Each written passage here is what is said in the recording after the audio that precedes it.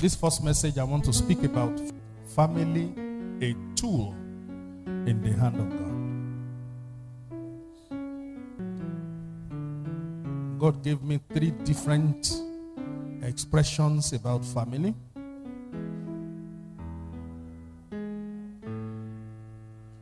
I don't want you to see family as a cultural thing. It is an error. Family does not start with tradition. Family does not start with culture. Family does not begin with environment. Family started with God. God is the originator of family. Did you hear that now? God is what? The originator of family. Family is the idea of God. It's not the idea of culture. It is a mistake today. What belongs to God, the devil has taken it over through culture, through tradition. You discover that most people today, when they hear family, it's their heart will go to culture, their heart will go to tradition. This is how family should be. No, it is God that originated family. And anytime you hear family, let your heart go back to God. It is God that has the authority to say this is how family should look like. And until your family is looking like God wants it to be, that family is not yet successful. Don't let us rule our family with culture. Let us rule our family with the word of God. Because culture is not the beginning of your family. The word of God, God Himself is the beginning of family. Do you agree with me? If you read the book of Genesis, you will see how God started with family. And it is because family, God is looking at family as a tool that He can use. Number one, I want you to write this down.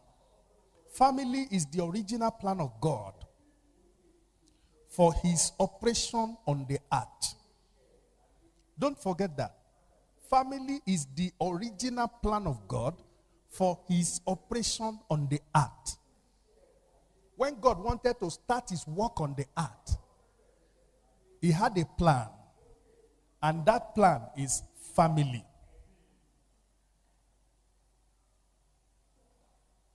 God always operates on the earth through families. If you look at Genesis chapter 2, you notice how, how God created Adam and all that.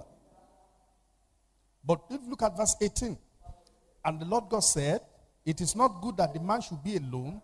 I will make him and help meet for him. That is God's starting family. Yes or no?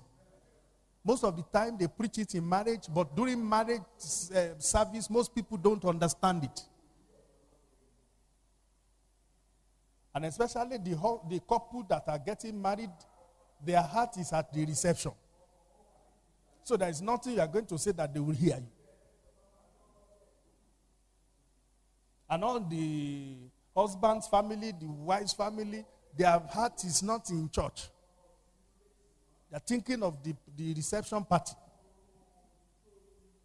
But in this family redemption and renewal service, let it register in your mind that God started family. Did you hear me? And God has a purpose. And verse 19, and out of the ground of and out of the ground the Lord God formed every beast of the field and every fowl of the air and brought them unto Adam to see what he would call them. And whatsoever Adam called every living creature, that was the name thereof. And Adam gave names to all cattle and to the fowl of the air and to every beast of the field. But for Adam, there was not found an help meet for him. And the Lord God caused a deep sleep to fall upon Adam, and he slept. And he took one of his ribs and closed up the flesh instead thereof. And the rib which the Lord God had taken from man made he a woman and what? Brought her unto the man. And Adam said, This is now the bone of my bones, the, the flesh of my flesh, she shall be called woman because she was taken out of man. Therefore shall a man leave his father and mother and shall cleave unto his wife, and they shall be one flesh. And they were both naked, the man and his wife, and were not ashamed. You see how family began in God. Are you with me now? So, family is the original plan of God for his operation on the earth. Okay? Family is God. God has an operation he wants to have on the earth. So, family is his original plan. That I'm going to use family for my operation on the earth. I'm going to use family as a tool to operate on the earth. It doesn't matter what is happening today, that is the original plan of God. Family is a divine. When God started the world, government was not in view. I get what I'm saying now? Family was in view. Family. So, family is a divine joker through which God moves his purpose progressively from generation to generation. Family is a divine joker through which God moves his purpose progressively from generation to generation. So, family is a tool in the hand of God. God uses family to move his purpose progressively from generation to generation. So, family is a divine joker. Nobody has known what God can do through a family that is submitted to the plan and the purpose of God. You have heard of God of Abraham. You have heard of God of Isaac. You have heard of God of Jacob. Is the same God that is progressively moving his purpose from generation to generation through family. Did you get that? God of Abraham, God of Isaac, God of Jacob. That is the same God who is moving his purpose progressively from generation to generation through what? Through family. True family. So, family is not just a means to satisfy our carnal lust and ego, but a tool in the hand of God. Family is a tool in the hand of God. Say after me, my family is a tool in the hand of God. A tool in God's hand to fulfill his purpose. Now, a tool is in God's hand to do two things. I want you to take note of that. Number one, to fulfill his purpose. Number two, to transfer his purpose. A tool in God's hand, one, to fulfill his purpose. Number two, to transfer his purpose. When I talk of transfer, I mean perpetuate his purpose from generation to generation. So that is number one definition of family. It is the original plan of God for his operation on the earth. It is a divine joker through which God moves his purpose progressively from generation to generation. It's not just a, re- a means to satisfy our carnal lust and ego, but a tool in God's hand to fulfill his purpose, to transfer or perpetuate his purpose from generation to generation. That is family in the view of God. And God's view is the correct view. Because he is the originator of family. He started it all. It is not Adam that said, I want to have a wife. Adam did not even know what a wife means. Adam is not even aware of his need. But God that made him knew that he needed a helper suitable for him. And God brought the helper. God made the helper, brought it to Adam. And then when it comes to, and God blessed them. And they become a tool in the hand of God. Are you hearing me now? So God started with family, the world with family. I'm sure He's going to end the world also with family. But this time around, a spiritual family. When Jesus appeared and the saints are raptured, and those who are dead in Christ will rise up and will meet in the sky. Again, it is one family. Did you hear me now? God began creation with family. He's going to end creation with family. Family has always been in the heart of God whenever he's thinking of his operation on the earth. Did you hear what I'm saying now? So the, the man is a workman in the hand of God. The woman is a workman in the hand of God. The children are workmen in the hand of God. Family is, a, is employed divinely by God to fulfill his purpose on the earth and to transfer that purpose from generation to generation. Is somebody hearing me this morning? That is God's purpose for your family. And it's very important that we take note of that. Number two, family is the means through which God ensures man's blessing.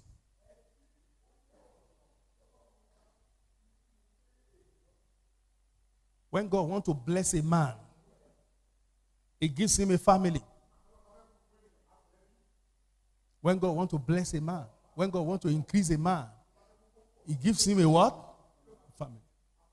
So family is the means through which God ensure man's blessing. That's number one. There are many things God ensure through family. I mentioned six here. I will mention six here. Are you following me now?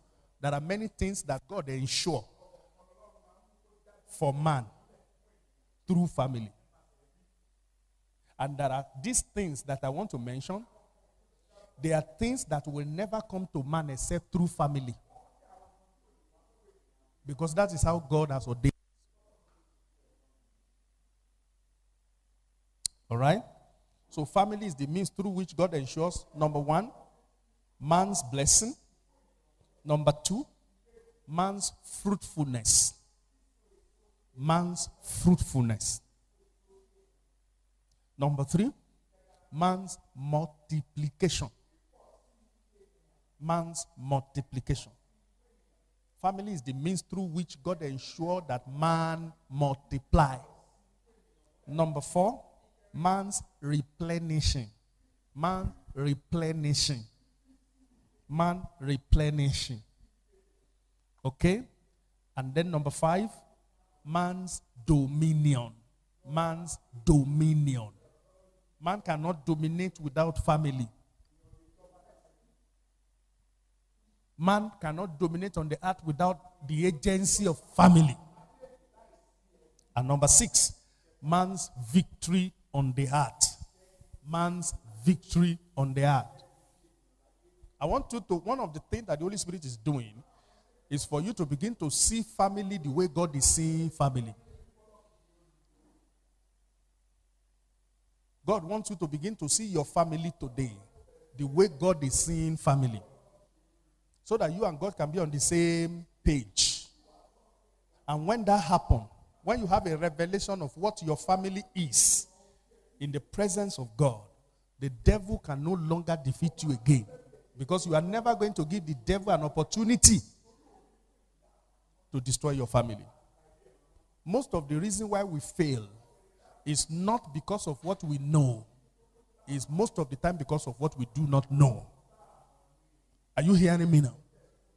When a man does not have the revelation of God about his family, when he does not have the revelation of God about her family, she behaves carelessly. She cannot walk in alliance with God. Are you following what I'm saying now?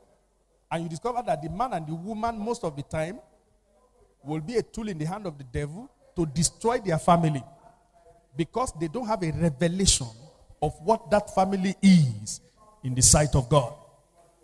That's the revelation that God is bringing this morning. And your situation, condition will not change until your revelation changes. When you and God are seeing the family the same way, well, definitely you are going to begin to walk in alignment with God. And you are going to stand against the oppression and the deception of the devil. Most people in the world don't see family this way. Oh. That's why family is scattering. We have men of God, we have pastors that don't see family the way God sees. That's why their family is scattering. Are you following what I'm saying? Did you get what I'm saying now? So, family is the means through which God ensures one man's blessing, fruitfulness. When you know that you can, you, as, a, as a man, you cannot be blessed except through family. When I'm talking of blessing, I'm not talking of the blessing of money. Money is a manifestation of spiritual blessing. Money is a manifestation of spiritual blessing. Money is not the blessing, it's the product of the blessing. Money is not the blessing. Is there anybody that has a cash? Bring cash out. Bring cash. You have cash? Bring it out. Just bring your cash. Bring it out. Whatever, 100 naira, 200 naira, whatever, just bring it out. Let me see. Let me see the cash. Okay? Okay, now this is cash. This is 1,000. It, you will be foolish if you think that this is the blessings of God. I read about how they produce cash in different countries. Listen to me. I read a lot of things. So I discovered that almost all the countries of the world, the paper they use to produce their currency is not the paper of the highest grade. The paper they use to print books are better in grade than the paper they use to print money. Did you hear that? That's my latest discovery. And that does not only affect Nigeria alone, it affects every country in the world. They use paper of the least grade to produce their currency. Hello? What does that tell you? What does that tell you? Cash is just paper. What did I say? Is paper. If you see this as the blessing of God, you will be the greatest fool. And this is what people are pursuing. And they will never get enough of this. This is not the blessing of God. This is not wealth. Did you hear? This is not the blessing of God at all. Dollar is not the blessing of God. Pound sterling is not the blessing of God. Euros not the blessing of God. Naira is not the blessing of God. The blessing of God is spiritual in nature. Are you hearing me now? If you don't have the blessing of God, you will not have the cash. If you are looking for the cash without the blessing and the favor of God, you will never have the cash. The Bible says, It is your God that giveth thee power to do what? To get wealth. Bring up Deuteronomy 8 18 for me. Are you following what I'm saying now? Because that's the reason many the, what, the only thing that some people are using their life to pursue is this. That's the reason why some people find it very difficult to give God. Because this to them is ah. This is not the blessing of God. Deuteronomy 8 18.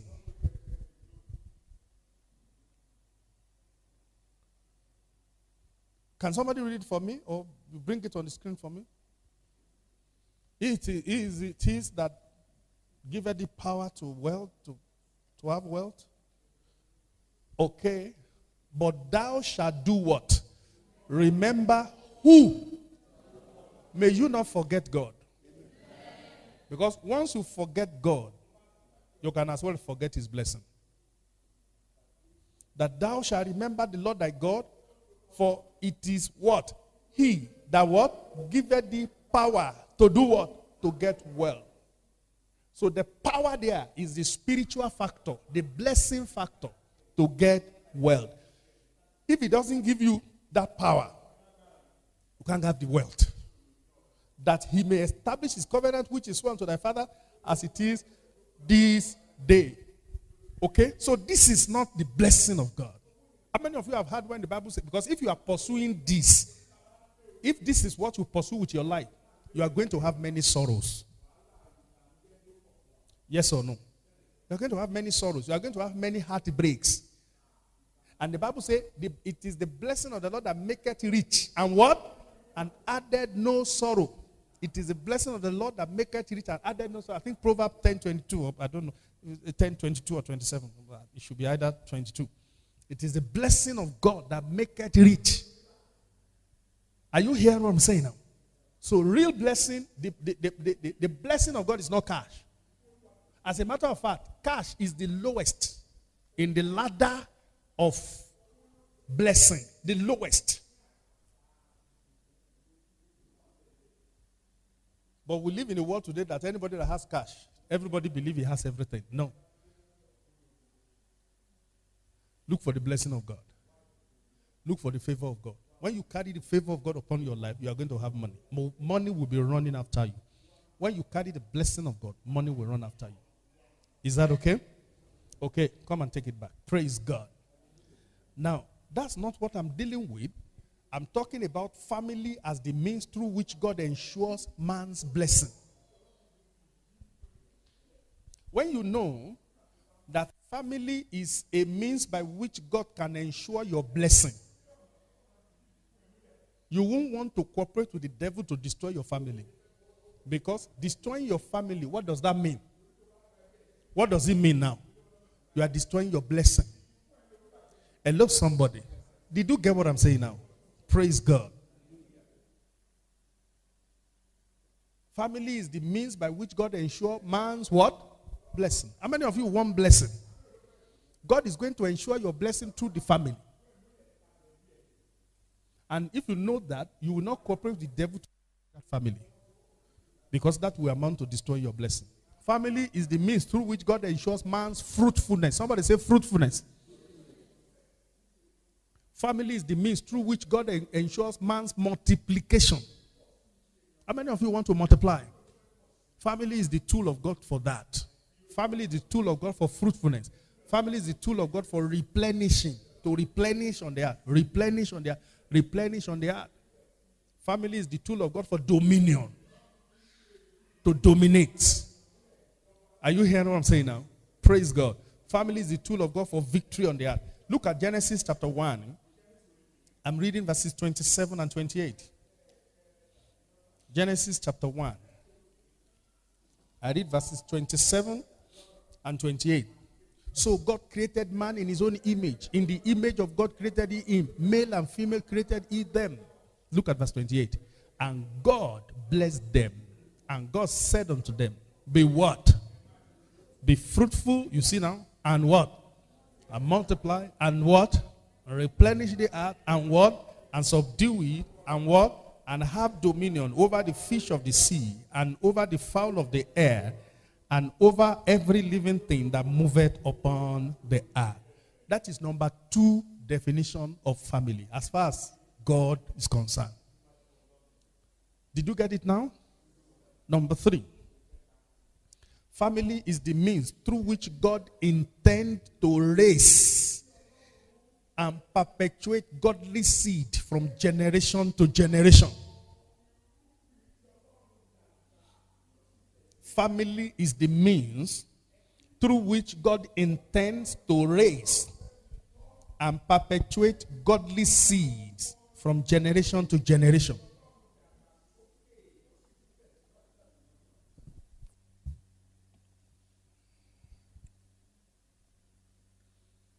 All right? So that's why I say family is the tool in the hand of God. Through family, God intends to raise and perpetuate godly seeds from generation to generation. Somebody say godly seed. Say godly seed. Good. There's a difference between just having children from your children becoming godly seed. You always plant seed And as long as there is seed, the harvest can never be stopped. How many of you know? How many of you know? The Bible spoke about a man that is crying and is going on, but he has precious seed in his hand. In a matter of time, he will come back with joy, bringing in the chiefs. Can you get that from that place for me in the Bible?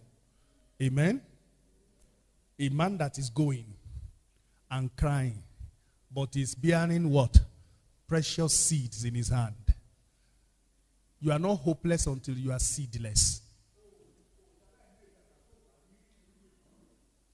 When you have a seed, you have a future.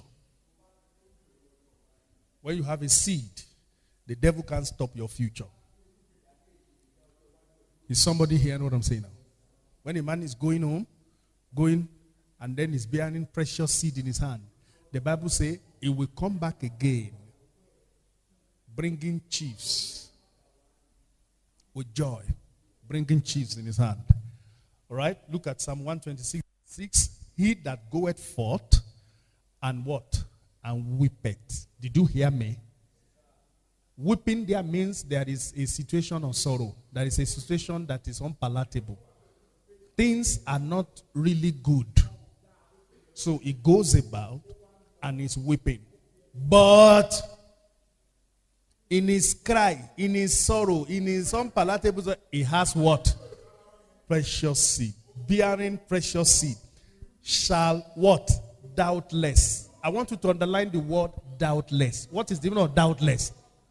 Certainly. So weeping is a matter of time. Shall doubtless come again with what? Rejoicing. Bringing what? His chiefs with him. So let your family be the tool of God to raise godly seeds. Did you hear me now? Let your family be the tool of God to do what? to raise godly seed, godly seed, godly seed. When your seed are godly, your future is guaranteed. That's why I look at people that just handle their children anyhow as the greatest enemy of their own future. Either it's a man or a woman that just handle the children anyhow is the greatest enemy of his own future. Are you hearing me now? Listen to me. Money means nothing if you are not investing it in something that will guarantee the future.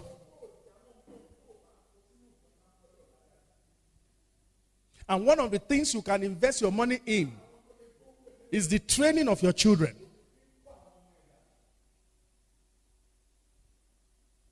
Do you get what I'm saying now?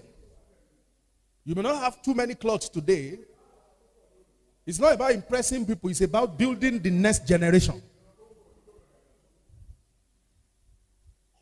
Okay? In fact, there are some things that I'm reserving by the Holy Spirit direction for October Covenant month. We're still going to have a family corner in the October Covenant month. I hope you started praying for that because we are closer to it now. This is August. We have only September in between. That one is 31 days every day. Are you hearing what I'm saying now? Family is the means through which God intends to raise godly seed and perpetuate godly seed from generation to generation. God wants to use your family to raise godly seed. Not only raising godly seed, perpetuate them from where? From generation to generation. Listen to me. The way you handle your children today is the picture of the future you are looking to.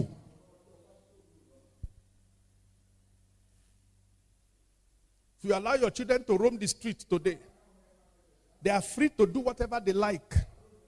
They are free to get into any kind of foolish friendship they can get into.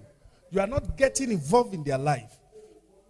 You seem to like money more than their, your children. You are destroying your own future. I, I like one of the Yoruba proverbs. He said, the, the, the child that is not built is the one that will sell the house that is built. Yes or no?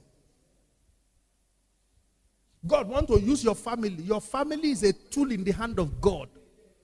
When you you and your wife, you and your husband come together, God raise a family. And that family is an instrument in the hand of God. To do what? To raise godly seed and perpetuate godly seed from what?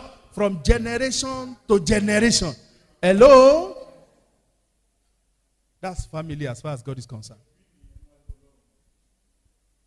That you yourself, you will be godly. And then you will raise godly seed. And the godly seed that are raised today will raise godly seed tomorrow. And godly seed will become a perpetuation from generation to generation. That's the plan of God. Hello, somebody. How many of you understand that? This is what secure and guarantee continuity. This is what secure and guarantee continuity. I want you to take note of this. When you are raising godly seed, that is what secure and guarantee continuity. And take note of this. Godly seeds are your weapons of war against the enemies godly seeds are your weapons of war against the enemies. Are you hearing what I'm saying now? Now, I'm going to show you a scripture because since God showed me that scripture and gave me a revelation of that scripture, my philosophy for church changed from that day.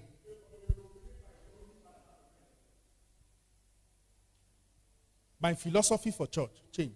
From that day, I am not raising members, I am raising sons and daughters. And any of you that follow me very well should be able to know when that, that approach, when my philosophy, church philosophy changes. How many of you understand what I'm saying now? Any of you that have stayed long in this church must be able to know when my philosophy, my approach to church changes from raising just members to raising sons and what? And daughters. Some of you must be able to know that time. Are you hearing what I'm saying now? And it is this scripture that God gave me. Godly seeds are your weapons of the enemy. Psalm 127.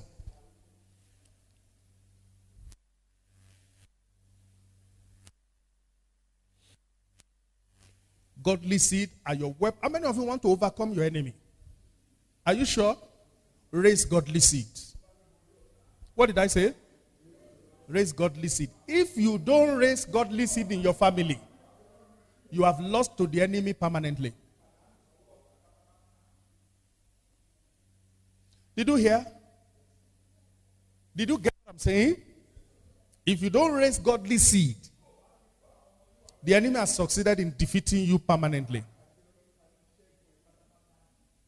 Godly seed are your weapons of war against the enemies. And I took that philosophy to church work. That no, I'm, from, I'm not going to, as from today, I'm not going to be raising members. I'm not just going to raise, I'm going to begin to raise sons and what? And daughters sons and daughters. That is when my emphasis on sonship and all that begin to come up. Psalm 127. I start to read from verse 3. Lo, children are what? An heritage of the Lord, and the fruit of the womb is his reward. Look at verse 4. As arrows are in the hand of a mighty man. So are what? Are the children of the youth. What is happening to the man? Happy, look at verse 5. Happy is the man. Did you see that? That has his quiver. What? Full of them. What will happen? They shall not be ashamed, but they shall what? Speak with the enemies in the gate. The word speak there means they will contend with the enemies. they will overcome the enemies in the gate. The gate is not, the gate is a place of spiritual power. The gate is a place of authority. It's not the gate of your household. Oh. Are you hearing me now? The gate is the center of authority where the leaders of the city sit down to take decision. That's why the Bible says, Lift up your heads, O ye gates. Aso Rock is a gate in Nigeria. Are you hearing me now? Because it's a center and a seat of authority. So the Bible says, the children will do what? Will contend with the enemies in the gate. Are you with me now?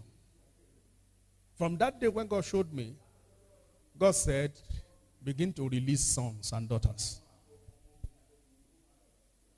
Members will come and go. Sons and daughters have a permanent attachment to their house. Yes or no? Members will come and go. But sons and daughters, sons of the kingdom, sons of the calling, they have a permanent attachment. And they are the weapon against the enemy. Sons are the weapons against the enemy. Daughters are the weapons against the enemy. Are you hearing what I'm saying? Praise God. So the same thing now. If as a father, as a mother, you are not raising godly seed, you are going to lose your battle. There are places now that my father doesn't need to go. Once I show up there, I will deliver his message. Yes or no? So, what am I? An instrument. Hello? Did you hear? If I show up, will they say they don't see human being? Anybody that see me and they say doesn't see human being, I think he's blind. Did you hear what I just said? What if I'm smoking Indian hemp around town? I will, by today, I will be a pain in his heart. Yes or no? I will be a shame to him. It will be mourning his demise even before he leaves. Are you hearing me now? Did you hear what I'm saying now? Tell somebody, raise godly seeds. Listen to me. When I talk of godly seed, it doesn't have to mean that the children that you gave birth to biologically.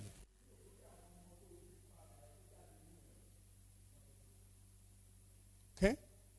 Anybody that you are a father figure to or a mother figure to, as long as under your control, raise them to become what?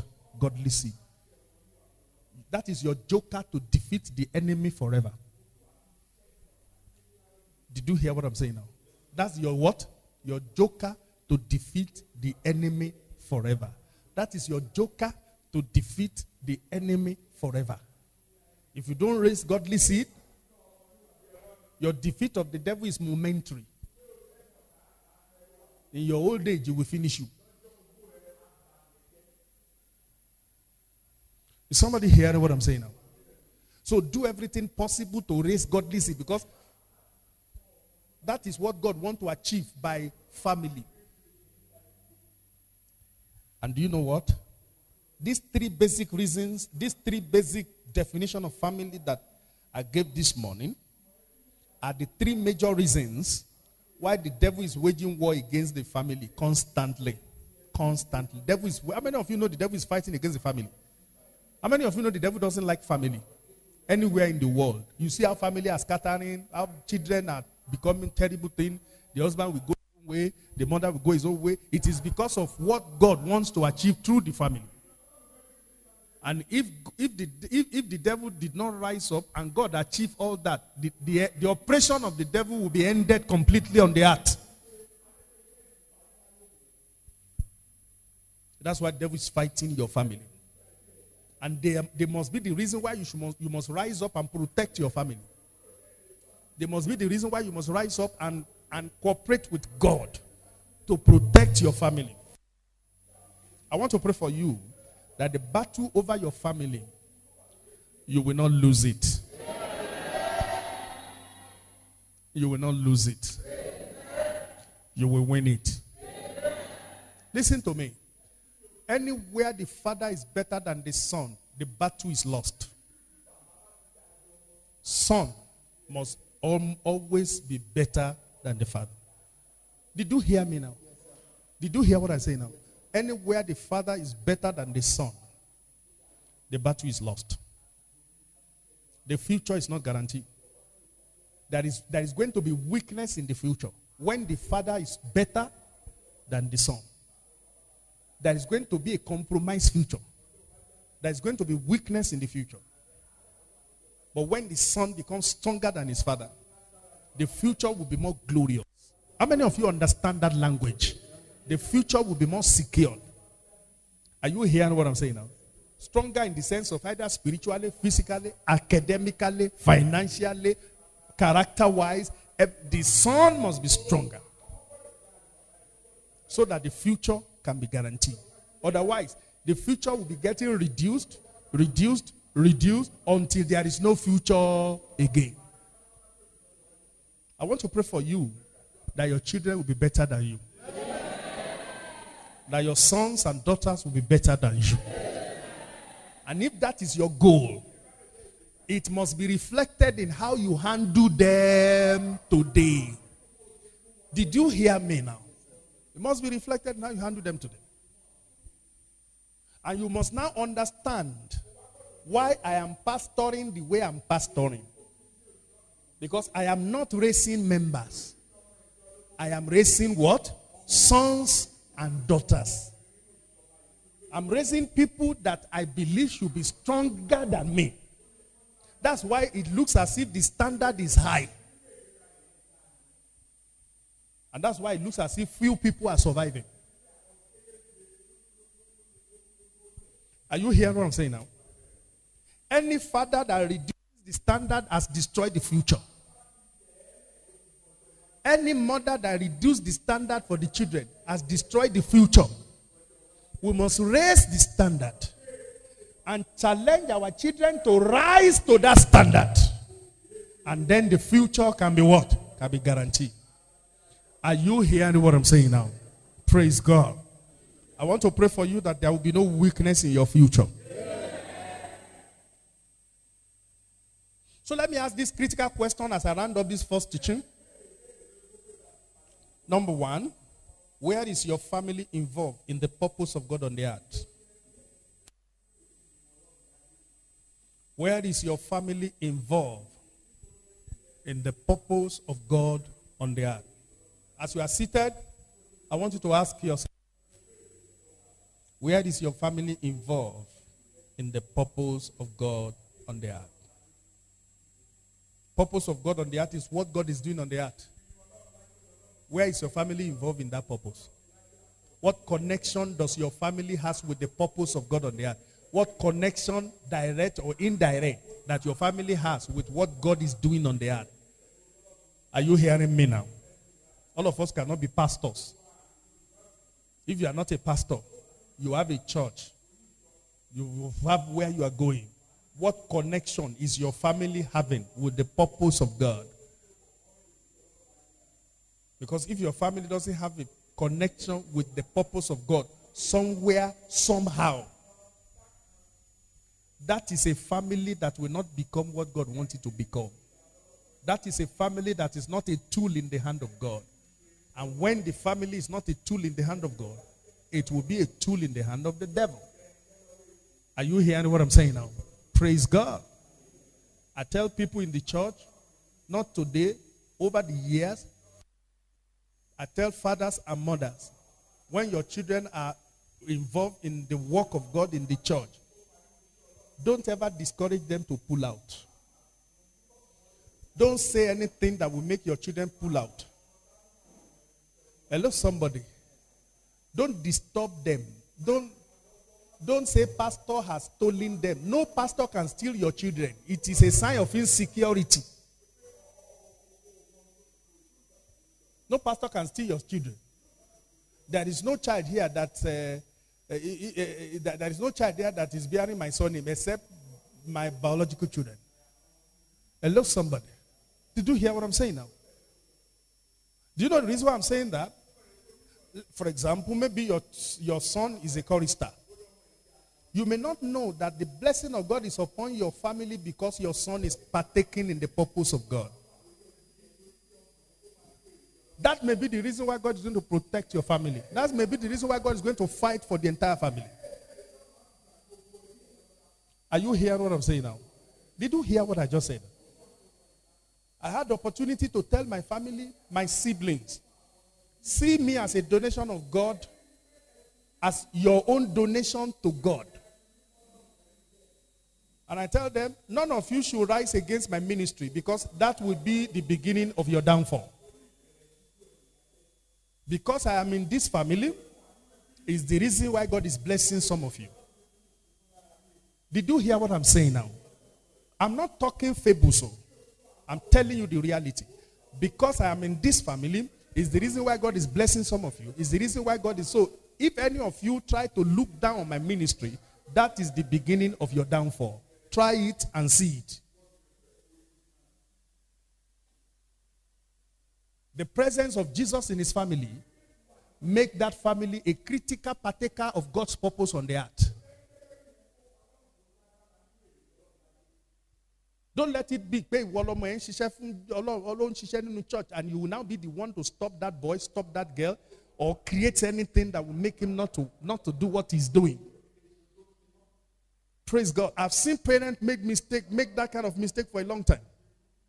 I told you about a boy where there was a seed years ago that was raised in the church, and he came out for that seed and when he, when he collected his salary, he was working in a private school. When he collected his salary and he removed that seed that he promised to come and bring to church, the mother said, Which, Where are you taking the money?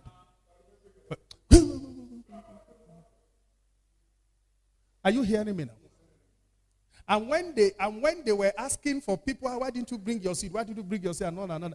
And they asked the boy, and then he said, It's my mommy that collected it from me. Are you hearing what I'm saying now? And I see the woman has, except for divine mercy, the woman has completely closed the door of grace against that boy. I want all you, I, I want all the women to stand up.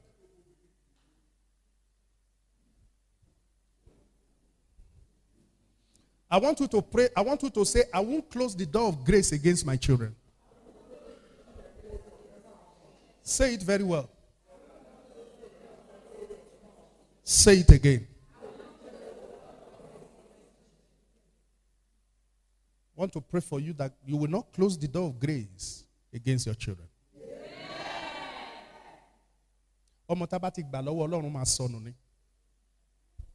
Did you hear that? I want you to go home with that secret. ọmọ téèyàn bá ti gbà lọ́wọ́ ọlọ́run tó withdraw lọ́wọ́ ọlọ́run ọmọ yẹn ò lè wúlò fún mọ́. I have seen that happen severally. Seen that happen severally. Okay, sit down. I want all the men to stand up. I want you to promise God again, just like the women have said, that I will not close the door of grace against my children. Say it again. I will not close the door of grace against my children. Say it again. I will not close the door of grace against my children. I want to pray for you that you will not close the door of grace against your children. Amen. Sit down. Did you get what I'm saying now? Very important. So your family must be involved in the purpose of God on the earth, one way or the other. You yourself, as the father and mother, must connect one way or the other to what God is doing on the earth at every opportunity. And your children must connect. Are you hearing me now? Families are refreshed and serviced through the purpose of God that they are connected to. Your children will not be an instrument in the hand of. I prayed that prayer for you. Didn't hear what I just said. I say your children will not be an instrument in the hand of the devil. So that's the first question. Where is your family involved in the purpose of God on the earth? Those of you that you are not yet married and you are looking forward to marry, let it be your marital goal. Let it be your marital pursuit. Okay? Men that are getting ready to marry, women that are getting ready to marry, set it is a goal. It's a godly goal that my family is to be involved in the purpose of God on the earth. Is that? Number two, can the unlimited operations of God be seen in your family?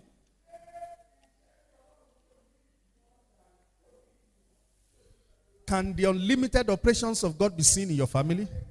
Can the unlimited operations of God be seen in your family? Because God wants his operations to be seen in families. Can the unlimited operations of God be seen in your family? Whose operation are we seeing in your family? Is it the operation of the devil or the operation of the flesh? Can the unlimited operation of God be seen in your family? Is that okay? Is that okay? Very important. And those of you that are not married, make it your marital goal. As a brother, as a sister, that the unlimited operations of God will be seen in my family. I want to pray for you and every family here, online, on ground, that your family will be the ground for divine operations. Your family will not be theater of demonic operation. Your family will be the ground for divine operations. Number three, are you experiencing blessing, fruitfulness, multiplication, replenishing, dominion, and victory? Those six things I mentioned earlier on. Are you experiencing it? Are you experiencing fruitfulness, blessing, multiplication, replenishing, dominion, and victory? Are you? If you are not experiencing it, it only shows to you that something is wrong with your family setup. Find out what is wrong and correct it. Because if your family setup is in alignment with divine purpose, you must be experiencing what? Blessing, fruitfulness, multiplication, replenishing, dominion, and victory. A family that is run with the standards of God will always experience blessing, fruitfulness, multiplication, replenishing, dominion. Is that okay? Number four, are godly seeds being raised and perpetuated from generation to generation? Are godly seeds being raised? Are godly seed being raised and perpetuated from generation to generation? Many of us would prefer our children to go to school than to come to church. It is a deception of the devil. They will only become a sophisticated devil. And and they will become educated demons. If the only place they go to is school and they don't come to church. Technologically compliant Satan. That's what they are going to become. Satan that can speak a lot of grammar. That will not be your children. Beloved, the first place they should be going to is church. That is when school can really make the right impact on them. Did you hear me now? Don't be the one that is more concerned about the schooling of your children than their churching. Did you hear me now? Don't be the one that is more concerned with the schooling of your children than their churching. People that are on the other side, in the other religion, I don't want to mention name, how many of you know that they are, they, they, they are so much concerned with their uh, religious center? I don't want to mention name. You know what I'm talking about.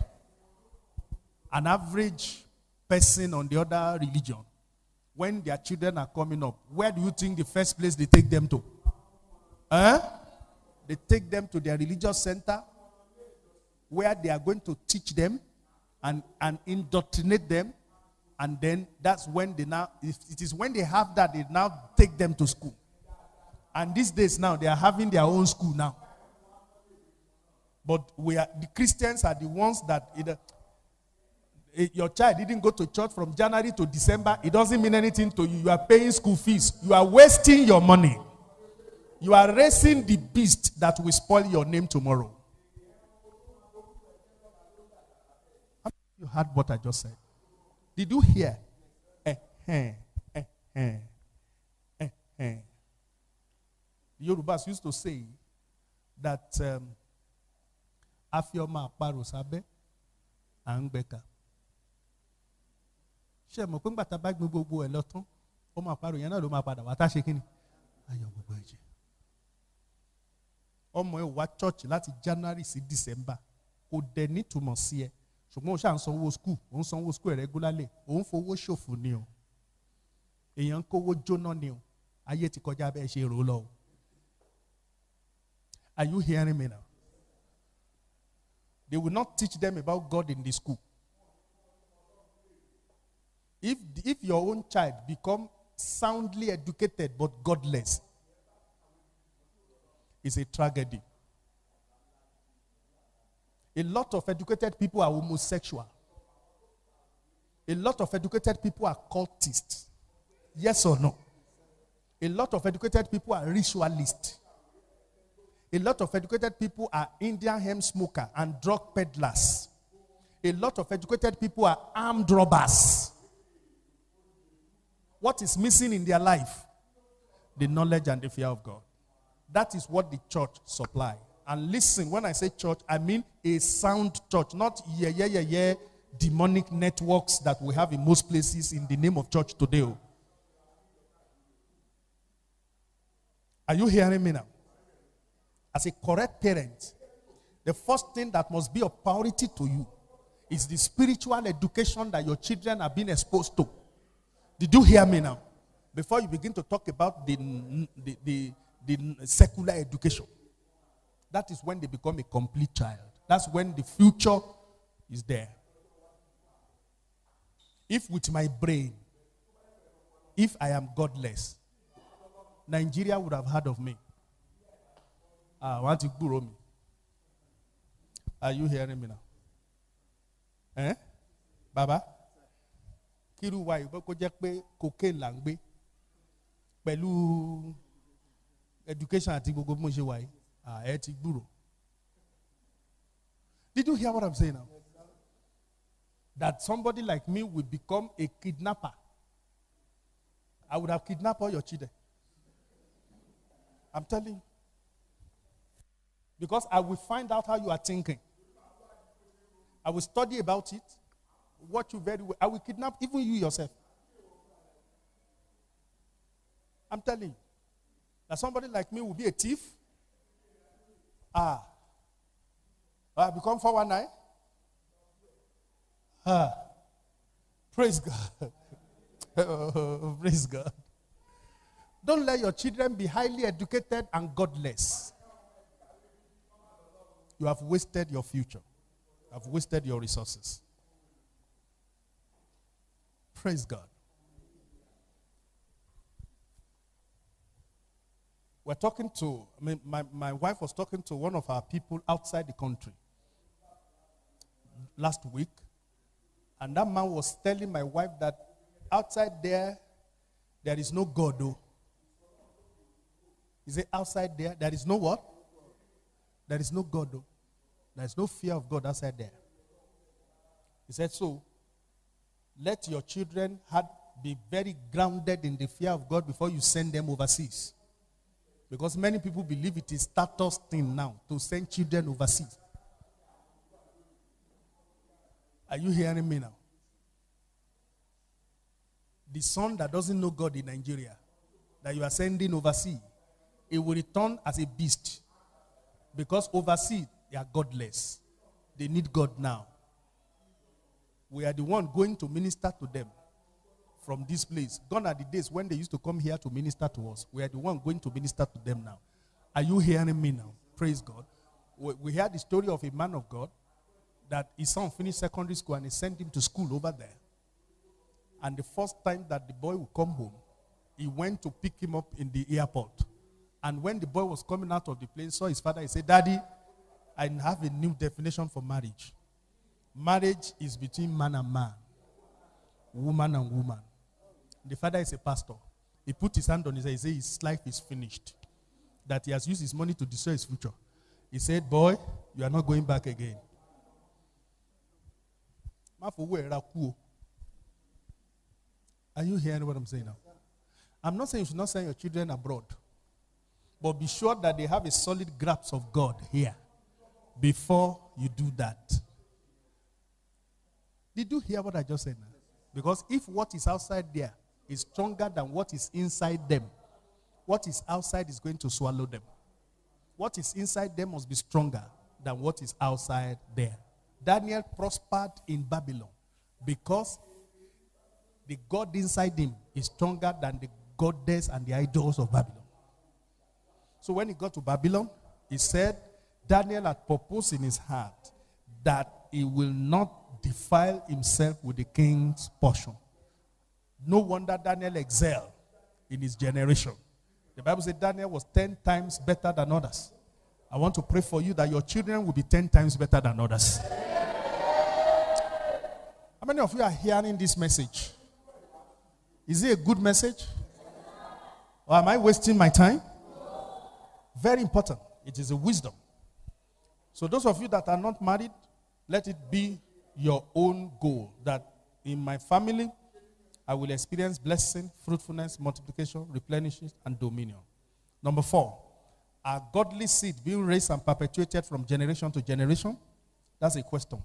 Are godly seeds being raised and perpetuated from generation to generation? Are godly seed being raised? Raising of godly seed is your own contribution to the next generation. Life will become terrible in the next generation if godly seed are not raised today. Did you hear me now? Your own son is going to be somebody's husband tomorrow. He's going to be somebody's father tomorrow. Don't let that somebody be sending calls to you. That you didn't raise him very well. Your own son is going to be somebody's father tomorrow. Your own son is going to be somebody's husband tomorrow. Don't let that somebody be sending calls to you that you didn't raise their father or their husband well. Did you hear me now?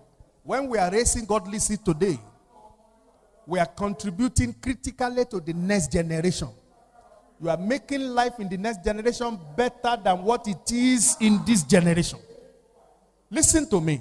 How many of you have noticed that things are going down from 60s, 70s, 80s, 90s, 2000? How many of you agree with me? That values are going down. Are they going up? They are going down. Talk about it. Family values, educational values, moral values all are going down from 60s. 60s is stronger than 70s. 70 is stronger than 80. 80 is stronger than 90. 90 is stronger than 2000. 2000 is stronger than 2010. 2010 is, is stronger than 2019. Do you know why? Families, predominantly, larger number of families have been failing and failing and failing. That's why the world is getting worse and worse. Yes or no? Fathers are pursuing their career. Mothers are pursuing their career. They are throwing their future to chances. They are making money. They don't make the future. They are, they are getting cars. 2019 latest. But at the expense of the, of the future of their children. That's why our nation is going down and down and down and down. And the politicians have become an agent of the devil that has killed everything. I read about a politician yesterday. He said he was, it was one of the minister designate. He, was, he wanted to recruit 200,000 youth as special advisors. And he wanted to be giving them 40, 40. He told his aide, he said, give them 40, 40K every month. 40, 40K every month.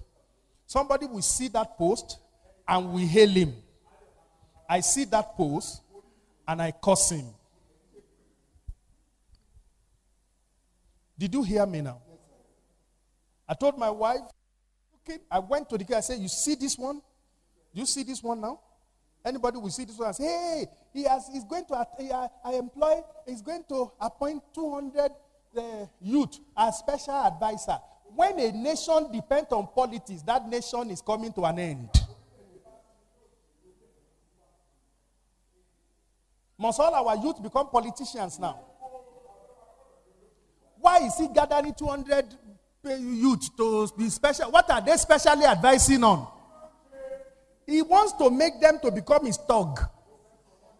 He wants to come back in 2023 to come and unseat the governor of his state. So he is presently in the army that will be abusing the governor and writing terrible things of the governor. At the end of the day, give them a stupid money of 40,000 a month. And he can send them to go. And some of them will die for him in that process. Because of 40,000. Ah. And some youth will jump with that. And they die and they'll be hailing him. Somebody that they should beat and, and get him on a pole and get him executed publicly. For him to have thought like that, he has destroyed the future of those people. What is 40,000 to your life? And they'll be sending them to go and be arranging for talks, sending them. He said, I told my wife, I said, Can this can this man, as useless as he is, can he give this assignment to his own children? Did you hear what I'm saying now? Go and find out. His children will not be in Nigeria. And those people that are, that, that are one of the people that are selected as special advisors to collect 40, 40,000 every month, they will come to church and they will be doing Thanksgiving. Not here. Oh. They come to church and they say, hey, I'm on Tirisha. Ìyá náà adúlá sí church. Ẹ bá ń dúpẹ́ lẹ́ praise God hallelujah. Ọmọ òun rí iṣẹ́ ikú lórí. Owó rẹ̀ ikú.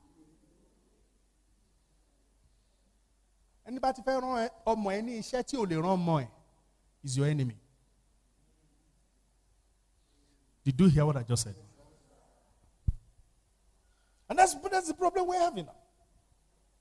So, you must, you must ensure that I'm going to raise godly seed in my family.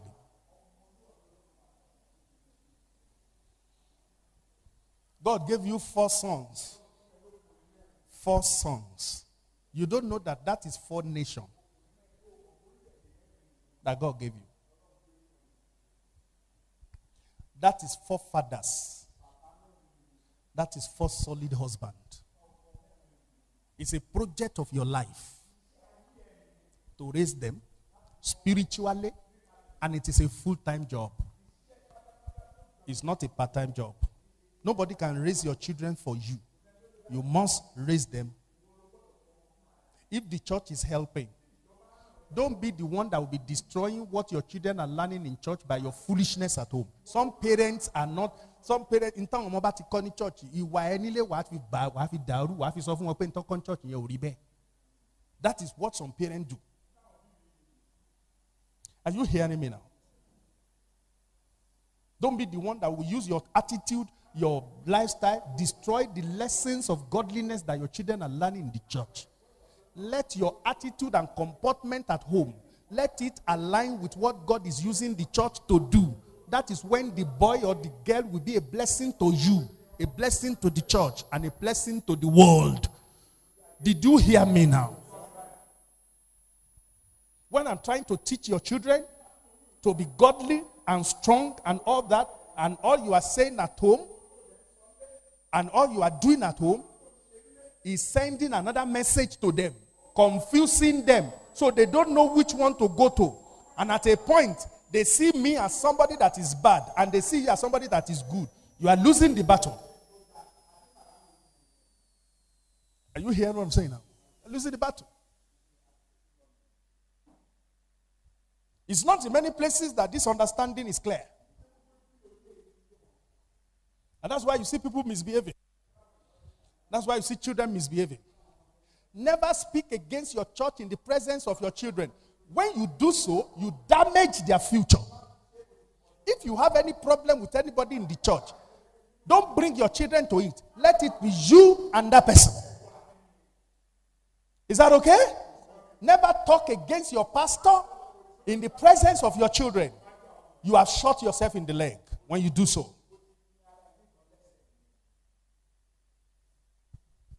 If you have any problem with your pastor, let it be you and that pastor squarely. Don't bring your children into it.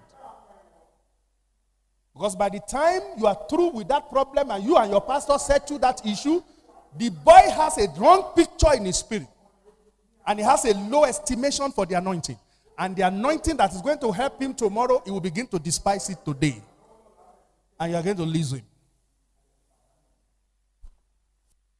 Are you hearing what I'm saying? We used to pastor, some, I mean, a woman sometimes. It was here she told myself and mommy, mommy, you remember? When she was regretting about what her daughter turned out to be. She said, It is her fault. It was here, she was telling us. You remember that day? That lady was following God, following God, following God, following God, following the teachings, following the teachings and all that. The lady doesn't know how to do fashion. I mean, crazy fashion and sinful fashion. That's what I'm talking about. Are you hearing me now? The lady is just, you know, following God, following God, and following God. And this woman thought that I wanted to collect her daughter. Ah, rise up on your feet. Let me pray for you. Anything that make you think that your pastor is going to collect your daughter, I take authority over that thought. I bind that demon. And I send that demon out of your life. When you begin to think like that, it is time to say, Get deep behind me, Satan. Because the devil is after your life and it's after your future. Are you hearing me now? Don't ever think that a pastor is taking your children. I tell some parents, I said, You should come, you should be thanking me every day. But most of you are waging, are fighting me every day. I told some parents that. Not you. Oh. I'm just doing my teaching. I told somebody, I said, you should be Oshele Ekoyama Dupe Lowo mi but ó ń bá mi jà lójoojúmọ́ ni. What I'm giving to your children, can you offer them? Are you hearing what I'm saying now? And I pray over this congregation again and again that anything that every thought that comes into your mind, maybe daddy or mommy is taking your children, bind that thought. And I cast that thought out. Sit down. Did you get that? Because I fought, fought serious battles in that line. I fought serious battles. And it pains me most of the time, not for the parent directly, but sometimes for what the children turn out to become. Are you hearing me now? Somebody was telling us last week that this person, this person, this person, up till today, when they talk in their house, she will tell their parent that that is not how daddy taught us. That is not how daddy taught us. That is not what daddy said we should do. That is not the Bible. That is not how daddy taught us. Are you hearing me now?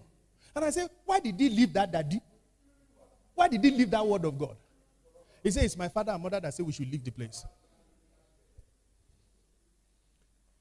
Up till today, they've left the church now more than five years now. But yet, what daddy taught us is still the standard reference. Up till today, who is their God given pastor? Talk to me. Talk to me. Uh-uh. If they have gone to a place that is better, they would have replaced it. It shows that in the last five years, they have not connected to the Word of God. Can I tell you something? If you have any problem with me, come. We are adults. We can do what? We can talk. We can sort it out. Don't let us extend it to the young ones. Oh.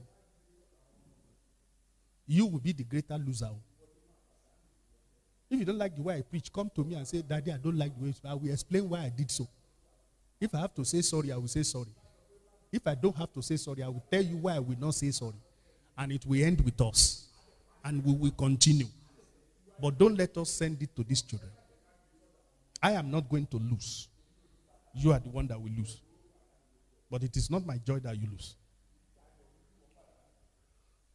Beloved, there is a way pastors speak and preach to the church. You will know that this is our pastor. But there is a way pastor will speak to the church. You will know that this is our father. Father's words are different from pastor's words. I'm sharing with you from the heart of a father, not just a pastor.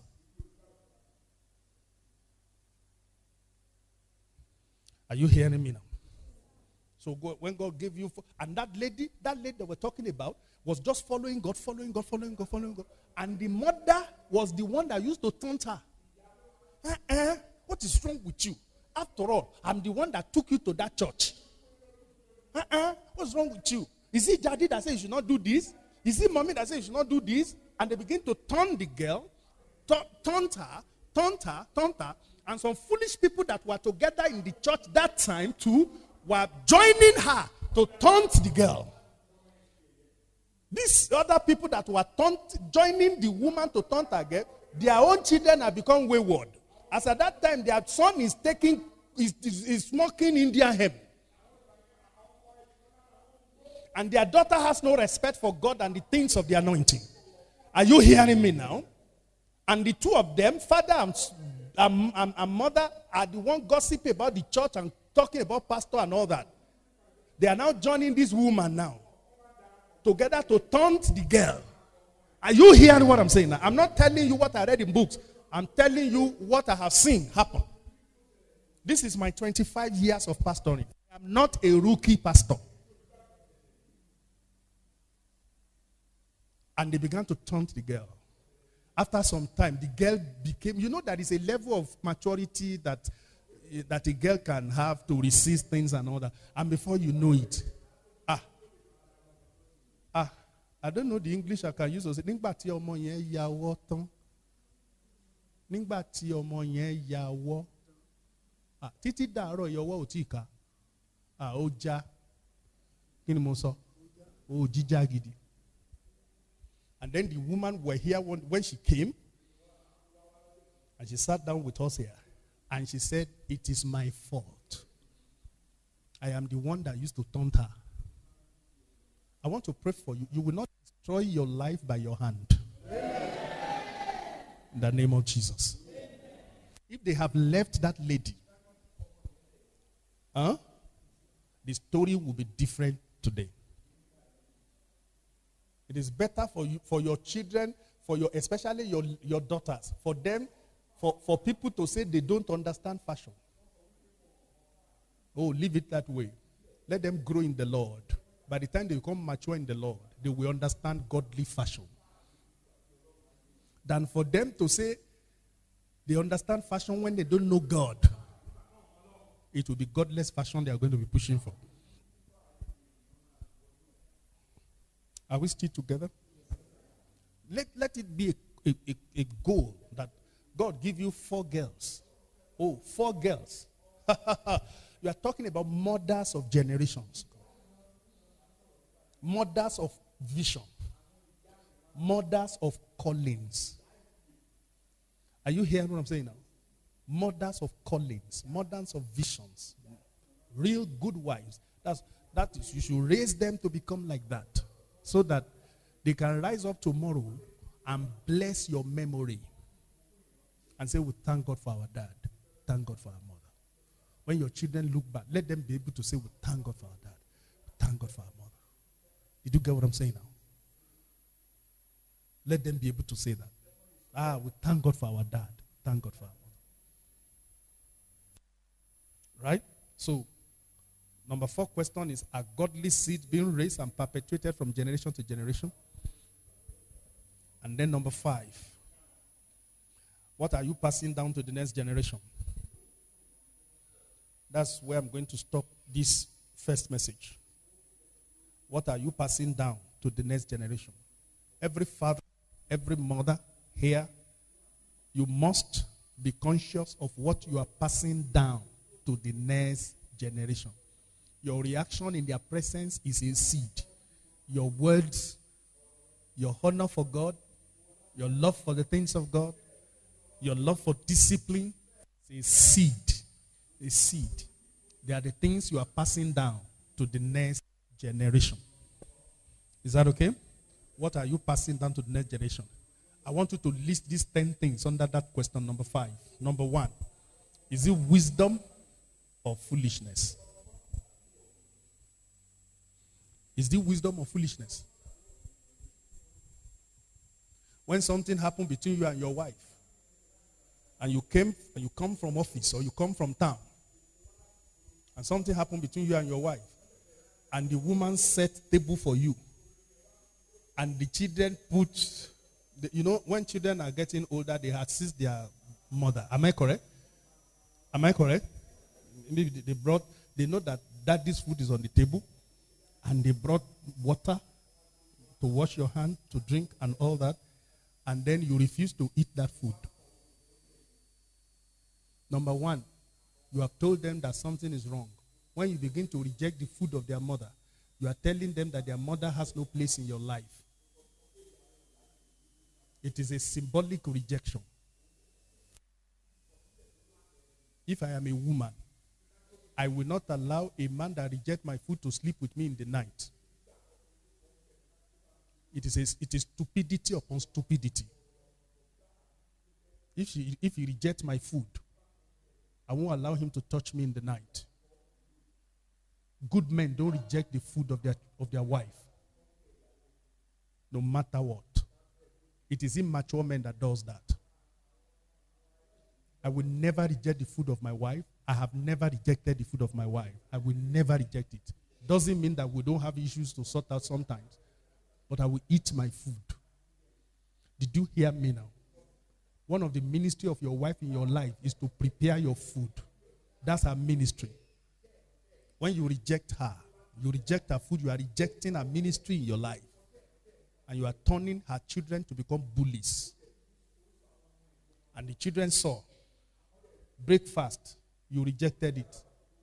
Lunch, you rejected it. Evening, you rejected it. And you keep rejecting for one week. Even if you later settle the issue, you have sown a wrong seed into their lives. And some of them, especially the boys, may never recover from it. Is somebody hearing what I'm saying now? May never recover from it. I prefer the food of my wife that is salty than a canteen food.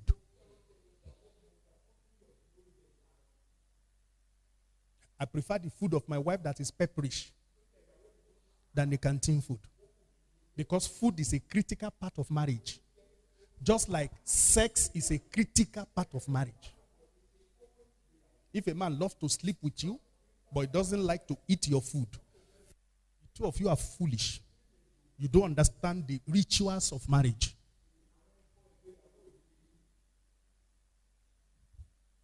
Are you hearing me now? A man that doesn't eat your food doesn't like you. You are not in his heart. Today, not today. Abi? Ah, today, not today. Because these are critical educations that people must learn about marriage. So that somebody is 50 years doesn't mean that he's qualified to marry. Or that he's matured enough to marry. The reason why marriage is collapsing today is because people don't read the word of God to understand the view of God about marriage. A woman that cannot prepare good food for her husband is a colossal failure. In fact, she has no place in that family. Even if she is bearing children every month. Listen to me. Don't laugh. Oh. Some of you women don't know how to prepare good food for your husband, especially women. If your husband is complaining about your food every time, we should review your womanhood.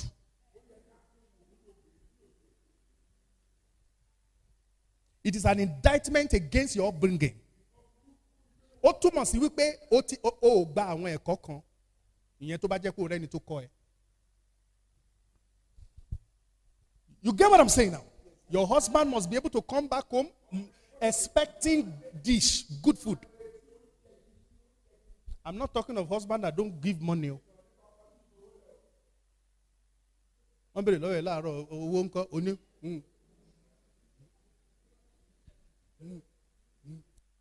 hmm. gidi lọ. Lálẹ́ at least jí o sọ wípé you must come back to expect you are a thief. O lè. But I'm talking of men that are responsible, you know. You get what I'm saying now? The woman must be able to maximize the resources the husband has given her and turn it to a good food. Turn it to a good food. One of my big aunts that I, we've seen last for some time now. So we got on, we got talking on, on WhatsApp. I just sent a message, and she said, "What is this? Your is this your is this you? Your DP? Is it this picture of it? What they call? Is it DP picture? Is it is that you?" I said, Yes. He said, Ah, my aburo has become horrible. Ah, greet Reverend Mrs. for me. And then she sent another message. She said, Have you delivered my message? I said, I have already delivered it. Are you hearing what I'm saying now? Because he knew how I was then. I was not married. Oh. Ọlọ́bẹ̀ ló lọ́kọ. Tó bá kú tán, òkú lọ́lọ́mọ ni. kí ni mo sọ ọlọ́mọ ló lò kú ọkọ ọlọ́bẹ̀ ló did you hear me? Eh i have eight children for him. I have lọ́jọ́ kó ìgbà tó bá kú necessary. But you can't cook for him. So every woman must sit up. Some of you women don't allow a strange woman to be cooking for your husband. If you have to go and get more critical education, go and get it. If you have to go and learn how to cook food, ask him, Kilo fe, what does he love? Are you hearing what I'm saying now? And cook for him what he likes.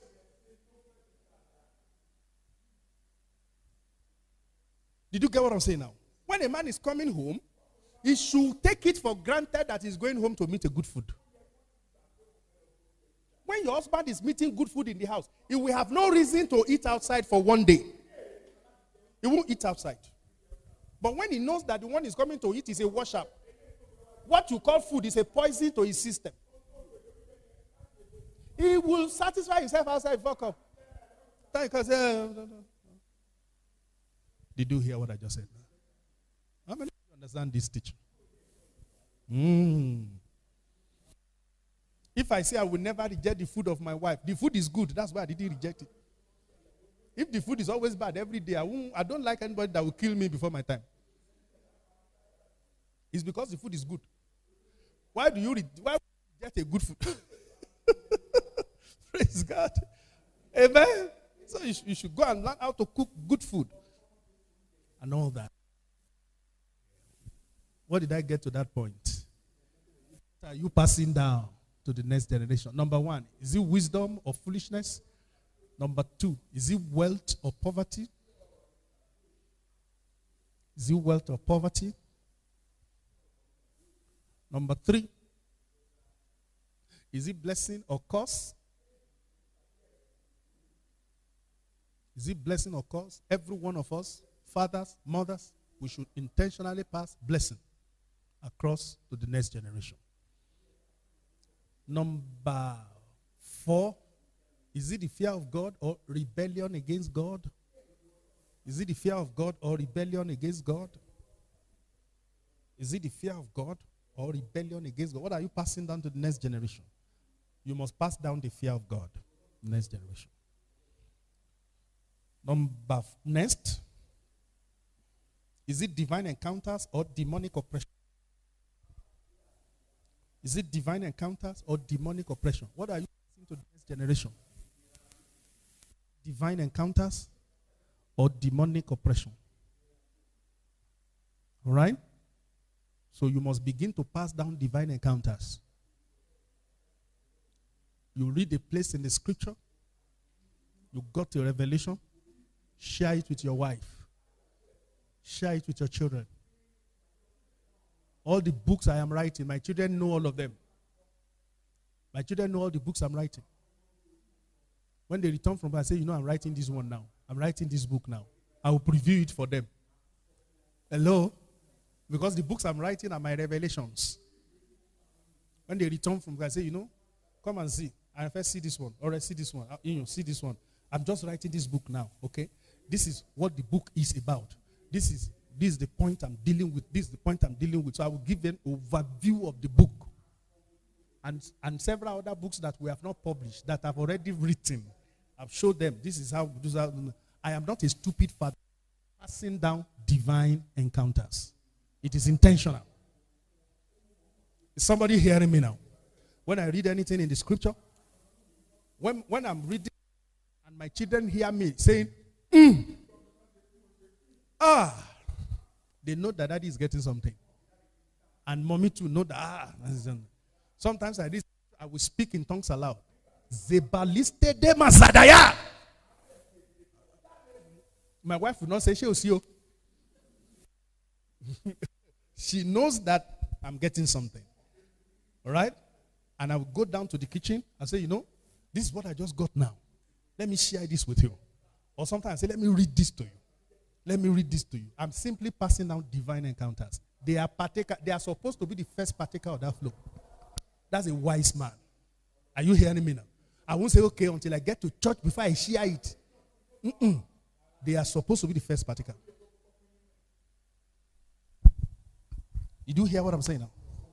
yóò bá ní èèyàn kì ní ẹni nídìí ọ̀sán kó ṣe kíni kó mi tó kàn. That's how you deal with your family. Because good things don't just happen. There are processes to it. And I'm teaching you the processes now. Okay? So is it divine encounters or demonic oppression? What story are you telling your children? Are you lew? Are you lew? ah ayé ayé yé ayé atamọ ti yé. Ayé tó mú kíni kan tó gbẹkẹni lọ́wọ́ ẹni. Àfàìmẹ àmàìfúnni ní ẹ̀rànsìn tó gbódìdí ẹkìn lọ́wọ́ ẹni. Ah eh, eh, eh. is that what you are telling your children? You are forming a demonic future for them? You are giving them a demonic impression that the devil is powerful than God?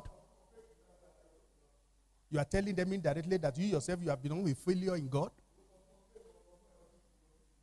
and that ayé gan ti bọ́ lọ́wọ́ ayé ọ̀rọ̀ ayé gan ò yé ẹ mọ́. That's what you are saying. Number next. What are you passing down to the next generation? Is it possibilities in God or the impossibilities in the world?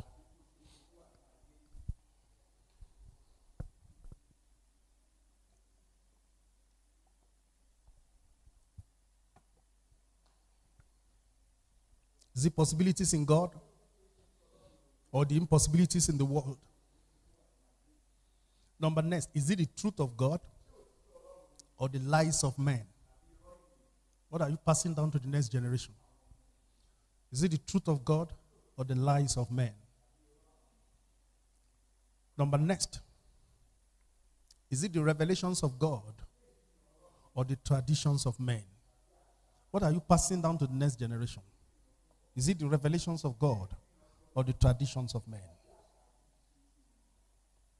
This should be number nine. Am I correct? The next one should be number nine. Am I correct? Hmm. What are you passing down to the next generation?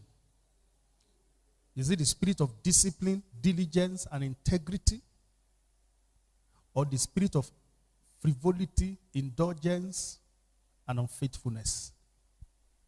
What are you passing down to the next generation? Is it the spirit of discipline? discipline, diligence, and integrity, or the spirit of frivolity, indulgence, and unfaithfulness. Is that what you are passing down to your children? Praise God. Oh. Are we still together? And finally, what are you passing down to the next generation? Is it faith in God or empty dependence on men? Is it faith in God or empty dependence on men? Every father and mother must conduct themselves before their children to know that they depend in God, on God and not on men. Let your children see that you have faith in God. The first thing you should teach your children is a lesson of faith. Is that okay? Don't let them develop depending on men from you. No. Don't depend on men. The Bible says the just shall live by faith. Teach your children to appreciate divine provision at any time. If it is white rice that you cook like jollof, that God provide, let your children learn to appreciate divine provision. That is what God has provided for us. And what God provides for you is what is going to help your body to grow. The thing that God is not providing that you are looking at and you are coveting is the thing that will give you this, dysentery. Did you hear? If it is garri that God provide, it is that garri that will do your body good for that season. Did you hear me now? The fish that God is not providing that time will give you diarrhea. How many of you agree with me that none of the children of Israel that were eating manna in the wilderness for 40 years had sickness? Answer me now.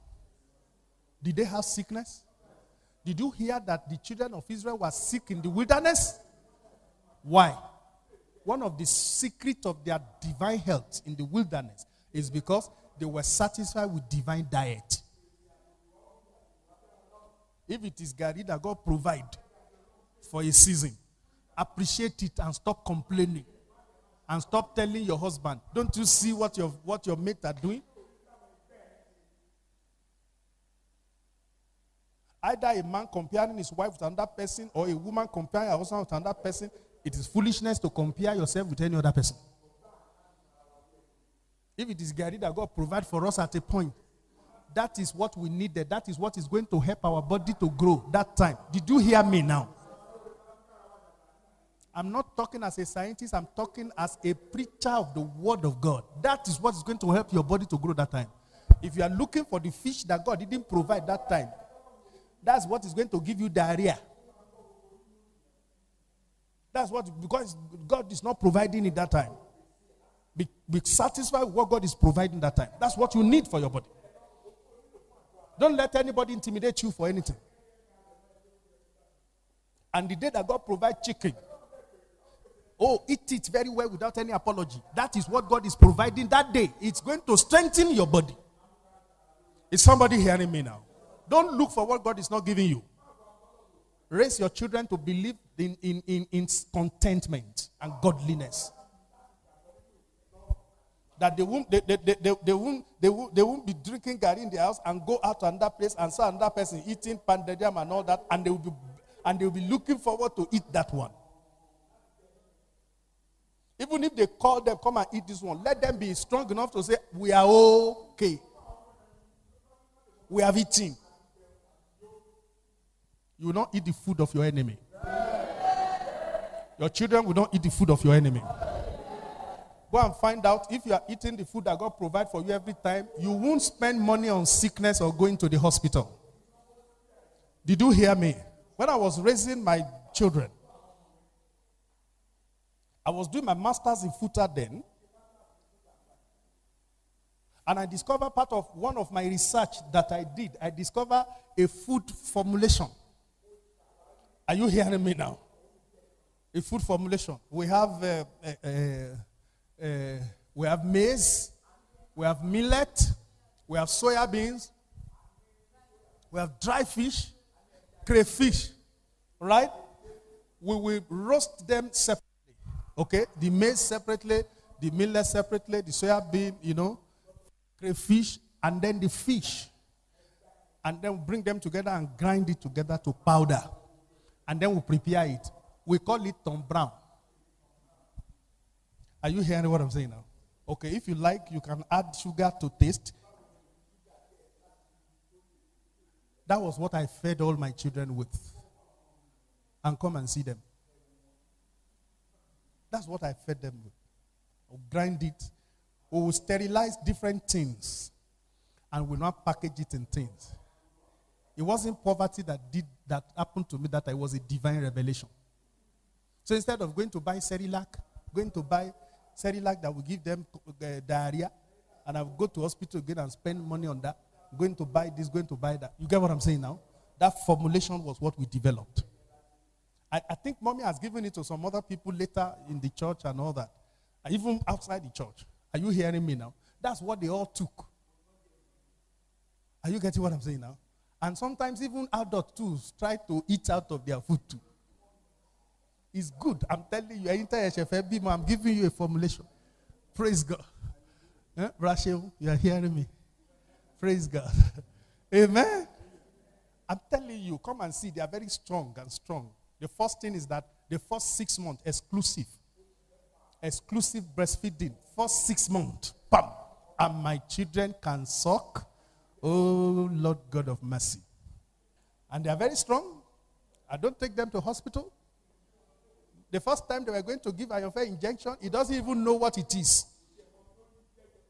The doctor was doing the syringe in the hospital. He didn't know what it is. They're just giving, they told him to drink Fanta. He drank Fanta. And then he didn't know what it is. Are you hearing me now? Until I carry him. And then again, and then he cry. from that time when he see injection, he will run away from the back. ah, no, look you get what I'm saying now? Amen. Now, if I had gone for Cerelac or this or that, whatever, I would have spent a lot of money and it may not have really considerably helped their health. Because when we did proximate analysis of what I just told you, is richer in, in, in quality, especially uh, essential nutrients and essential amino acids more than Cerelac because we did a comparative studies of Tom Brown with Cerelac. We discovered that Tom Brown is better than Cerelac, better than none or whatever. What do you call again? I don't know the name again. Praise God. It's better in terms of the the the the number one, even organoleptic qualities. Okay, even the nutrient, the nutrient content is better, much much better than that. Did you get what I'm saying now? Praise God. So, and I saw the reason why Daniel said, Don't give us the king's portion, give us beans and water. And the man said, You want to kill me? He said, Just try us 10 days. Let, us, let them be eating the king's portion. Let us be taking beans and water. The end of 10 days, come and see how we appear. And 10 days after, when they brought them together, the Bible said Daniel and his friends were 10 times better than others. When God show you a divine diet, He has given you the secret of divine health. Write it down, don't ever forget it. When God gave me that diet, it was saving me from hospitals because He wouldn't want me to go and be spending precious time over my children in the hospital. That's why He gave me that diet. So when God gives you a divine diet, He has given you the secret of divine health. Because what you eat determines greatly your health. Did you get what I'm saying, beloved? Oh, wow. So faith in God, or let me read three scriptures, um, two scriptures, and then we'll round up this first teaching. And this is first teaching. We used to wait for the second teaching. Praise God. Amen. Look at Psalm 78. I want you to bring it on the screen. I want all of us to follow this Psalm 78 from verse 1 to 7. Psalm 78. When you get home, I want you to study this place very well and ask yourself as I live my life as a father, as I live my life as a mother, what exactly am I passing down to the next generation? Because we will not be here forever. Is that okay? What we teach our children now, directly or indirectly, is what will become the reality in their own generation. So let us be mindful of what we do now. All right? So let's have let's have Psalm 78, 78, please, from verse 1 to 7. I want everybody to look at the screen. I want us to read. If you can't see the screen, you can get you can get your own note, uh, your own Bible, and uh, let's read together. 78, please.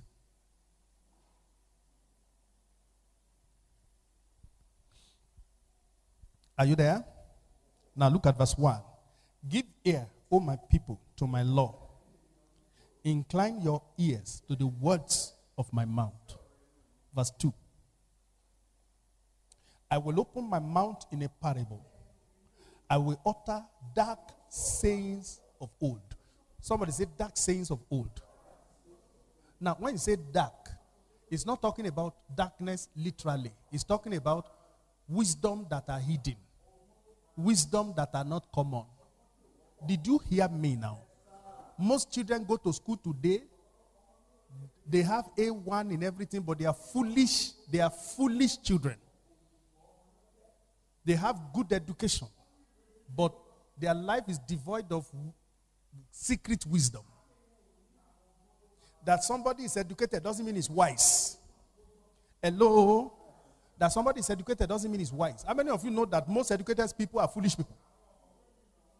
Have you heard when they say it is book you have read, you have not read your your your you have not read wisdom? How many have heard that before?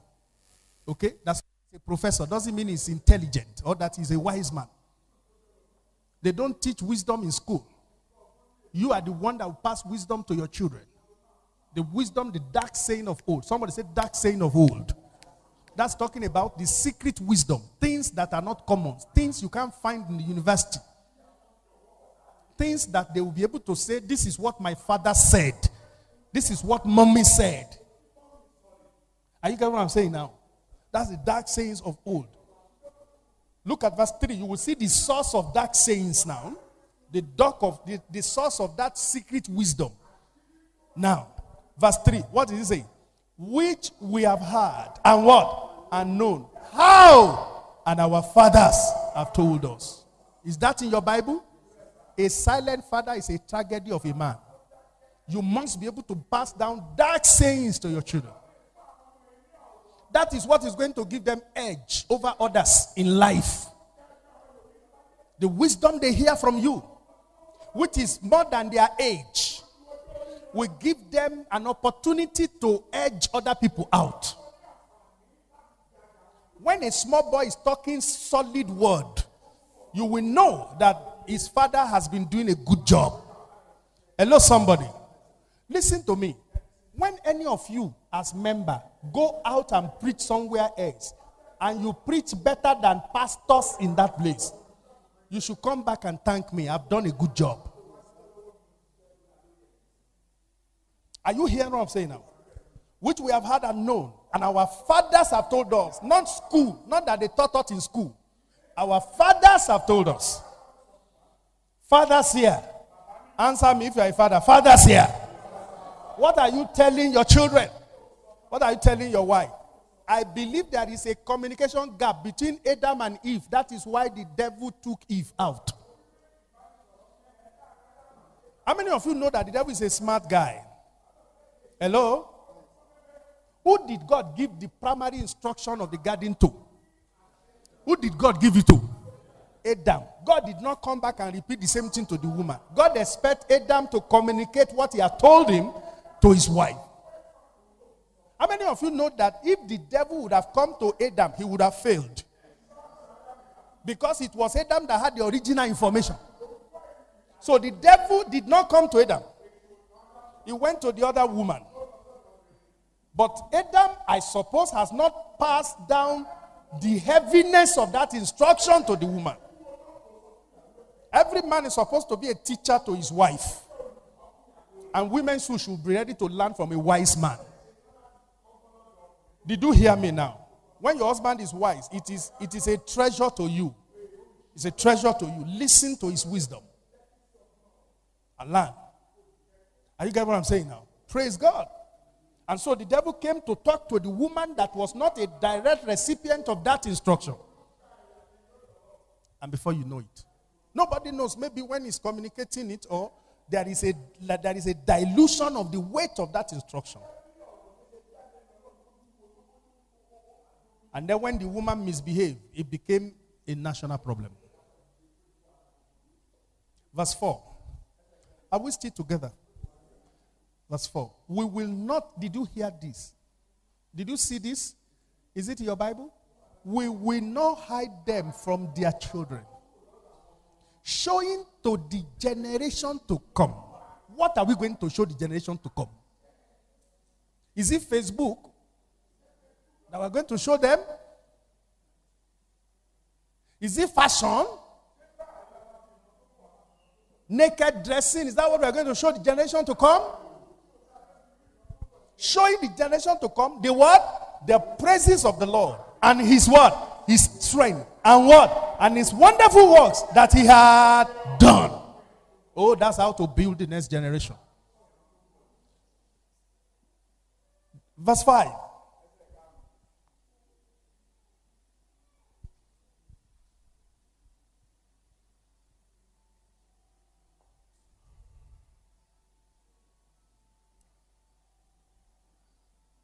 For he established a testimony in Jacob and appointed a law in Israel, which he what?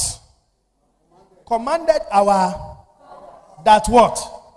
That they should make them what? Known to their children. Look at verse 6. Verse 6. We're going to 7. Verse 6.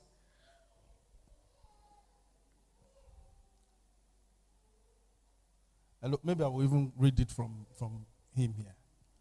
Verse 6. All right. That the generation to come, my what? Might know them. If you don't tell them, they won't know them. Did you hear me now? Might know them. Even the children which will be what? Born. Even the children which should be born, which should be born, which should be born, which should be born. That's talking about the one that are still coming and the one that are presently in the womb they should know. Who should arise and declare them to their children? Because when you teach your children, they themselves will arise and do what? And teach the same thing. There is nothing anybody knows that he has not heard from somebody. Did you hear me now?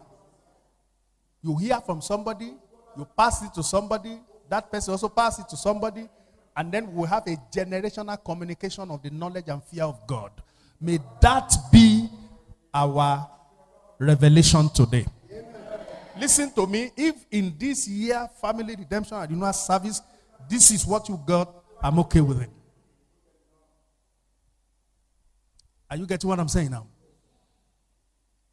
Verse 7 that they might set their hope in God. That is the goal. That's the goal. Now your children, when you pass these things down to them, they will set their goal in God that they might set their goal in God and not forget the works of God, but keep his commandment. But keep his commandment. Look at Psalm 44. I'm going to read from verse 1. Psalm 44. I want everybody to open his Bible now. Psalm 44 from verse 1 down to verse 8. Mm.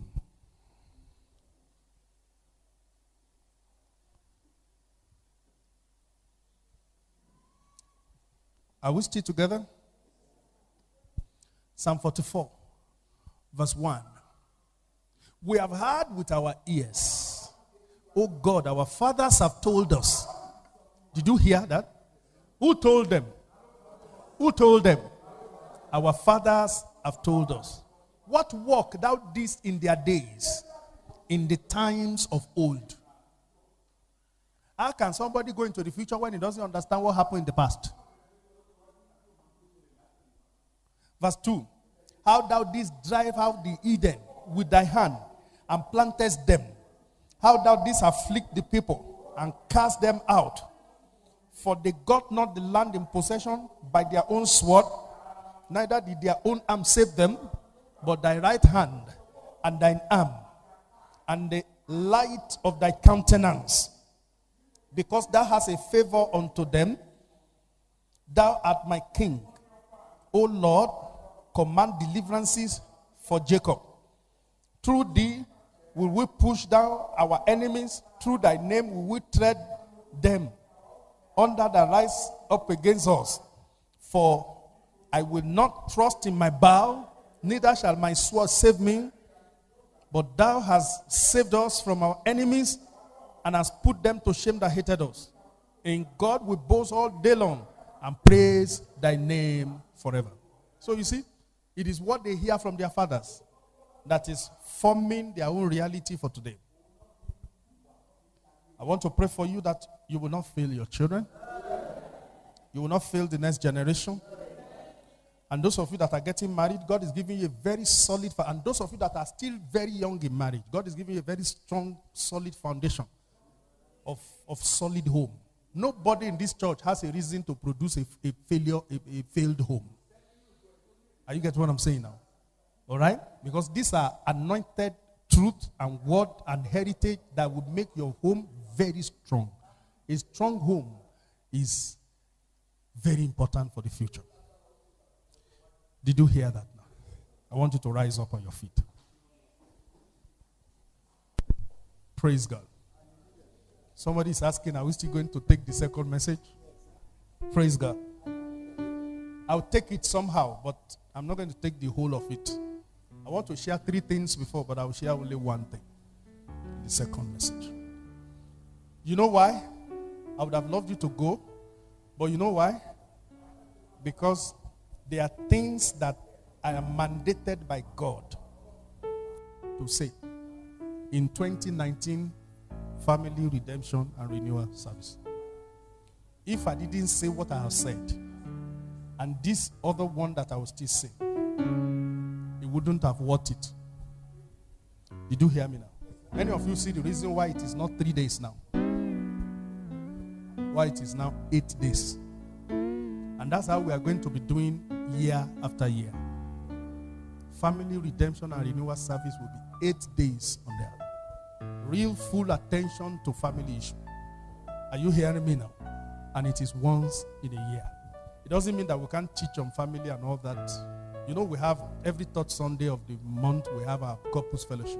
And we talk about family stuff there. But this one is a, an annual move of God. I expect that you get ready for that of next year. How many of you agree with me that I should say everything that God wants me to say? Do you agree? Sure? Do you agree? Okay. The next message, there are three things I want to share, but I will share only one because that one must be said as we go today. It is well with you in Jesus' name. What should I do? Should I just flow into it? Or you know, we have not done worship. Oh. We have not done all the other things. We are coming to do others. Oh. The Holy Ghost has his own arrangement for service. Amen. Amen. The Holy Ghost has his own what? Arrangement. Forget about what we have written down, how we used to do it. Sometimes the Holy Ghost will come and disrupt our own program. Okay? Abikama praise worship. Uh, we are still going to do that. Okay? We're going to take communion and all that. But I will just share message now and pray for you, and then I'll flow into the second message, and then we'll be through with that.